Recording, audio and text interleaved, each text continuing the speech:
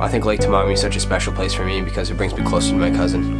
I know he's gone, but a little part of him kind of sits and resides with me. And when he, when we come to Lake Temagami, I just feel like I'm right there with him and enjoy every single moment with him.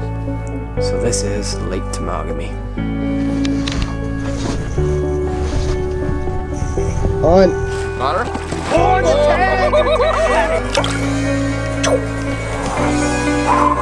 Let's go. That's a nice fish. That's a beauty. Oh, I love it. We're right in the thick of northern Ontario, and it's it's hard to it's hard to get better than this. This is beautiful.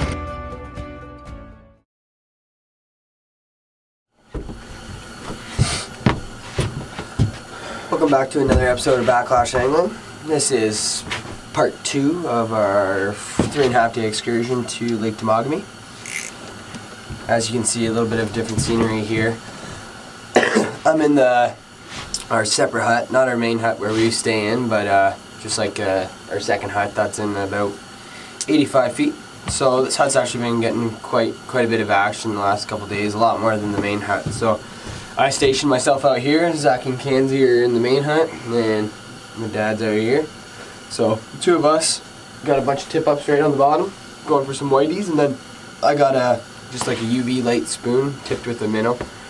Could get some whiteys on that. I could get a laker on this. So hopefully we get into a couple fish real soon. We're just baiting up the hole right now, and uh, yeah, we're gonna catch that first fish. Hopefully it's not too long.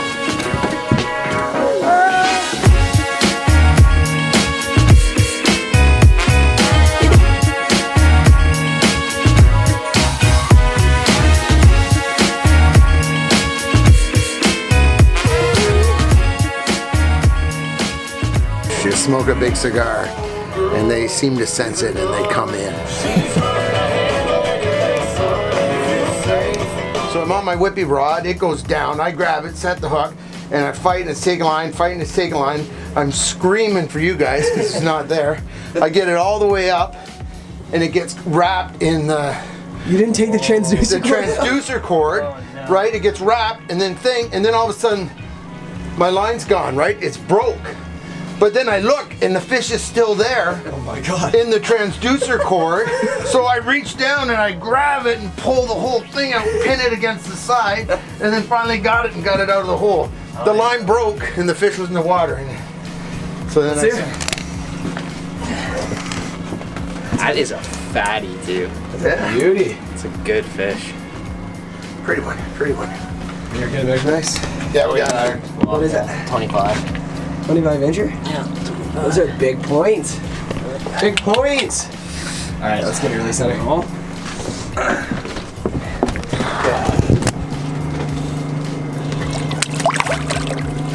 we uh, have you got Go. Nice. Here we go. Nice. Let him go. Let him grow, baby.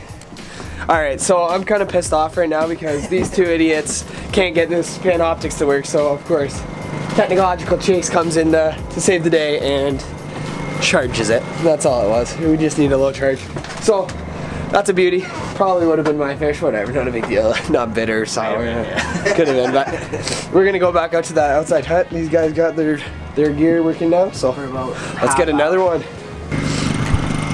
I know ice fishing is is a large portion. It's all about the fishing, but honestly, out here, sure we're not just smacking them. We're not getting numbers like crazy, but those do those fish do come and they're awesome to catch. But truly, honestly, the beauty out here is hard to hard to describe. Like it's unbelievable out here. Right now, we got a little slight dusting of snow, a little bit of snow, but just we're right up here. We're right in the thick of northern Ontario, and it's it's hard to it's hard to get better than this. Is beautiful. So hopefully we get some more fish, and we're just gonna take everything in because this is our last day, and we'll be up here for another year. Love it up here. All right. So we headed out to our walleye spot for the the late afternoon evening bite. We are sitting in about two feet of slush. It is disgusting. So we got about two and a half hours. We only have three fish for our, our cook tonight, so we definitely need to bang out some more wallies. Hopefully we can get one on the board real quick here. Just gotta adjust this. Had a boy. Had a boy. Oh yeah, you're on the one. What are we guessing here? I'm gonna say about a 13 incher. 13. There you go.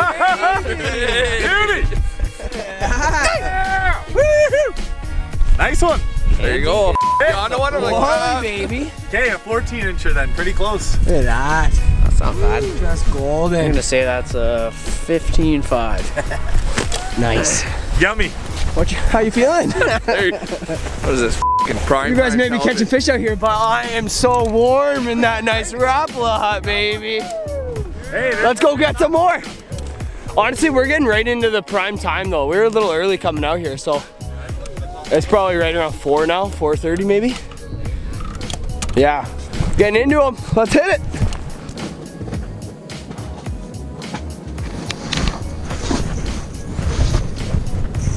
On. I got one.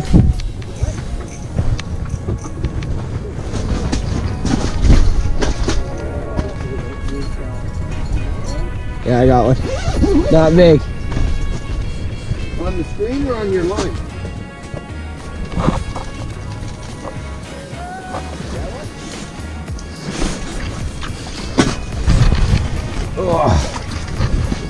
Here we go.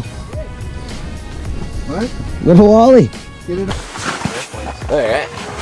So I just got little Walter. About 14 incher. She's tiny. She ain't big at all, but she'll definitely do. Hey, I was just jigging right there on the bottom with a little UV.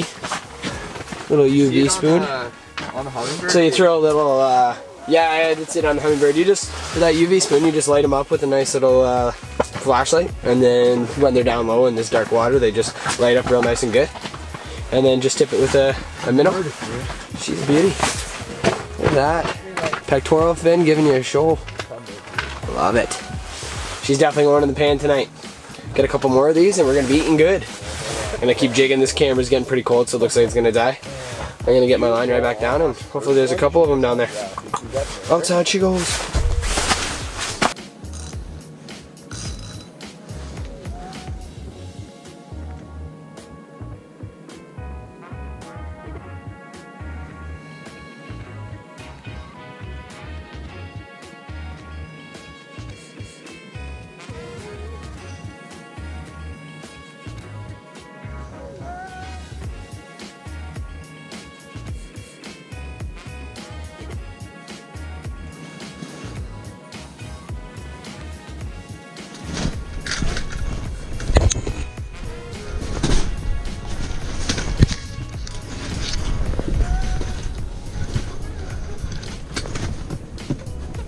Fish. Oh, I got a lake arm tangled. Oh, cluster. Fucking cluster. What? I got a fish, so I'm cluster. Fuck. We're gonna lose her. Oh yeah.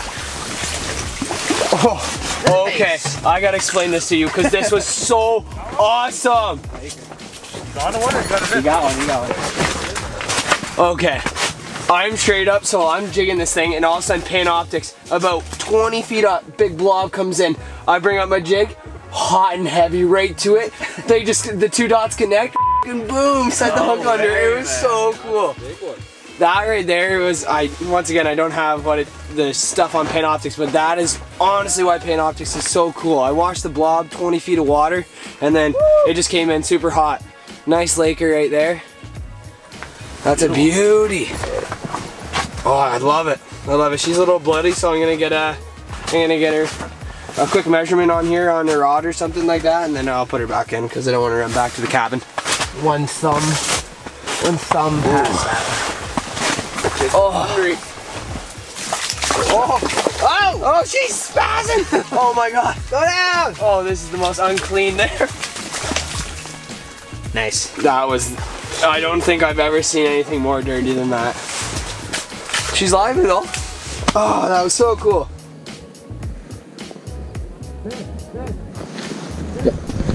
That one?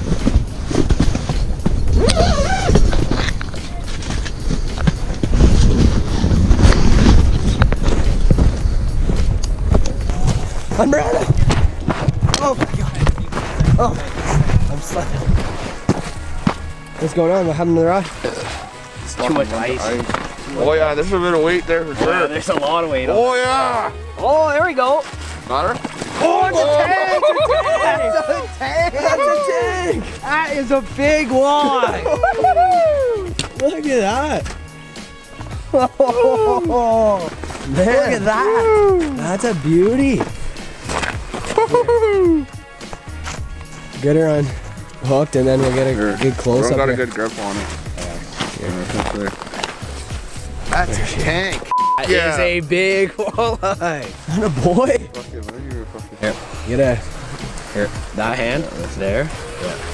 Woo! Her hand, this. There you go. Hey. Oh! Not a boy! Hey. We're growing. Alright, so that one was just on just a simple about half ounce, half ounce uh, jig with just a big minnow. That is a slob. I haven't seen that big of one in Temagami a few years that we've been up here, so that's a tank. I'm pumped. I want to get back in the hut. I want to get jigging. I want it for myself. Alright, we're gonna keep going. This camera is cold and is gonna die soon. Alright, there's awesome. That's the coolest thing. One thing I love about ice fishing is how much of it like a team sport it is. Like out on boat, don't get me wrong, and musky fishing, it is a team sport and it's it's a big win for everybody. But having a buddy that isn't first off this first time ice fishing and then pretty much yeah like just a newbie to get a big fish, big walleye like that, that's awesome. That's it makes just the trip so much so much better. And it's exciting to see. I'm I'm jazzed up. Hopefully I can get one too. But if not,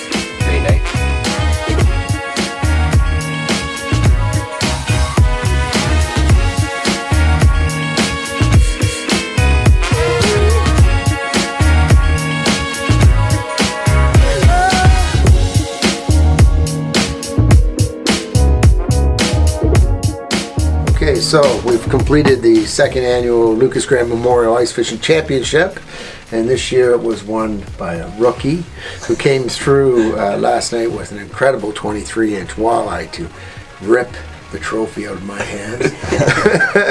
so, anyways, uh, welcome and congratulations. Thanks very much. And then we'll see you next year. What do you, Perfect. what do you got to say for the camera? Hey, hell of a time. Really uh, happy you guys invited me.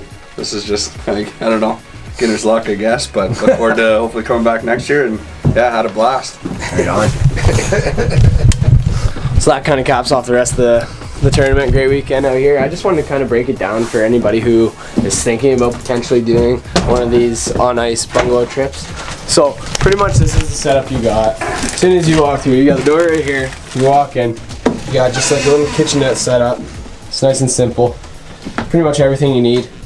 And then you got your four bungalows. This is just a four man hut. You can get a six man hut, two man hut. And then it comes pretty much equipped with like all the plates and cups you need. You got all your cooking stuff. And so that's the main hut you got. And then if you head outside, a little windy today, but you got your outhouse out here. And then you got the second shack that was actually had a lot of the luck from this total week.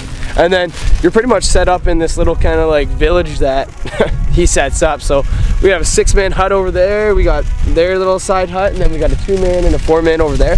So it's pretty cool for uh, when you're out here. You get a pretty good community feel going. We actually met a couple guys from Mississauga that were out there. They're a good time. And then we had a couple guys from London over here. So it was awesome.